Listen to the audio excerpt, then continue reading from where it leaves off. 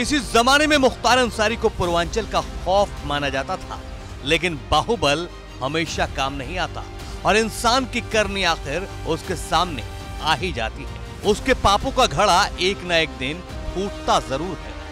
बाहुबली नेता और पूर्व विधायक मुख्तार अंसारी को स्पेशल कोर्ट ने अवधेश राय हत्याकांड में उम्र कैद की सजा सुनाई है।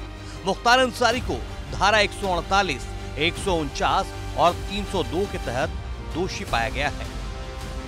मुख्तार अंसारी को आजीवन कारावास से दंडित किया गया और एक लाख अर्थदंड लगाया गया है माननीय न्यायालय द्वारा। आप लोग के लिए कितनी बड़ी जीत है? ये बहुत बड़ी जीत है बत्तीस साल से लगातार हम लोग लड़ रहे हैं इस चीज़ को और अंततः आज फैसला आया है। उच्च न्यायालय और सर्वोच्च न्यायालय में भी जाएँगे। जी ज़रूर ज़रूर। ये वादी मुकदमा है जहाँ ये पैरवी करेंगे उनके साथ अगर हम लोग अपॉइंट होते हैं तो हम लोग भी लड़ेंगे।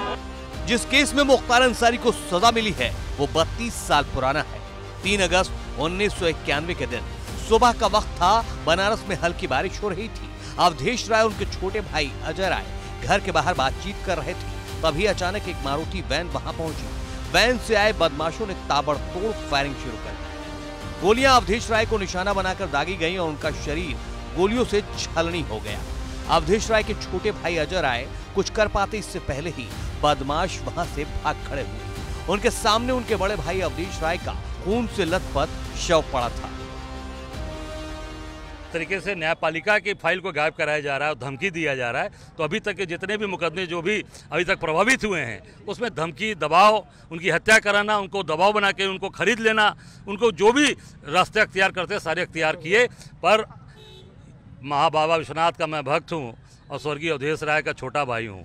तो उन्हें धमकी से पीछे हटा न इनकी किसी भी बहकावे से, न इनके किसी भी दबाव से पीछे नहीं हटा और डटकर हम लोग खड़े हैं आज।